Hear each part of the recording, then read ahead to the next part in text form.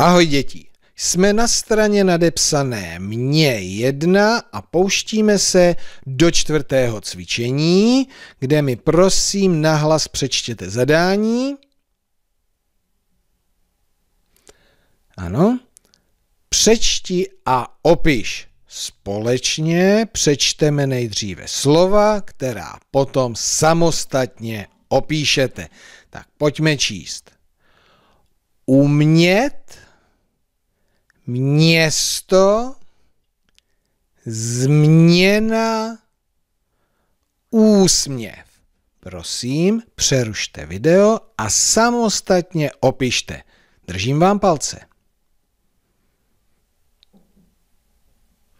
A nyní si to zkontrolujeme. Takže řešení. Umět. Postupně jste psali. U, m, E s háčkem T. Je tam háček? Výborně. Město. M, E s háčkem S, T, O. Další slovo. Změna. Pozor, ne s, směna. Z, změnit. Změna. Z, m, e s háčkem n, a. Poslední úsměv.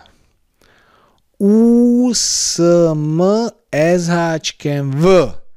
Pozor, na začátku slova je dlouhé u a tam se píše čárka.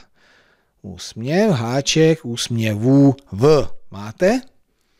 Výborně. Pečlivě opisujete a již víte, že pokud píšeme slabiku mě, tak ji píšeme jako M, E s háčkem. Gratulace!